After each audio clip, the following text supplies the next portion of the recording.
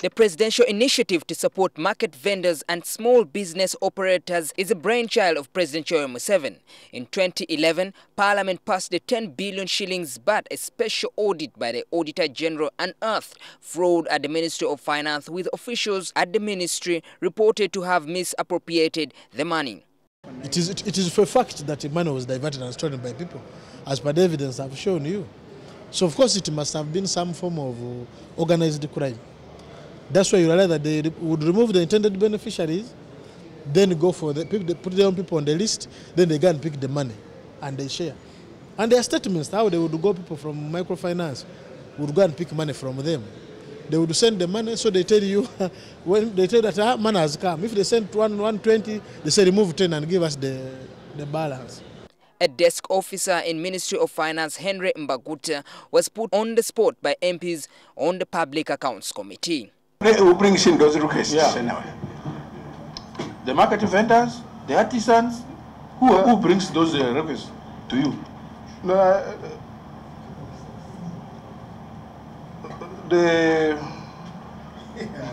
Mbaguta, please be yourself. Don't don't cook stories. Just be yourself.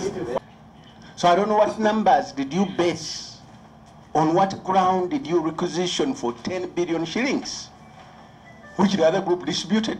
Disputed. From uh, will you- Mr. Mbaguta, will you re- will you repeat yourself tomorrow? Not to cook stories is not easy.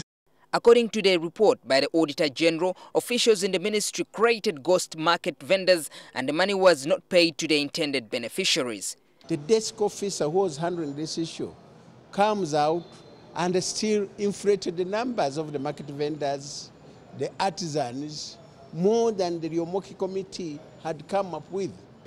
Uh, Katwe metal fabricators, Coastal Cooperative Saving and Society, money was sent to the cooperatives. Four people went and actually picked the money. So the intended beneficiaries didn't get the money.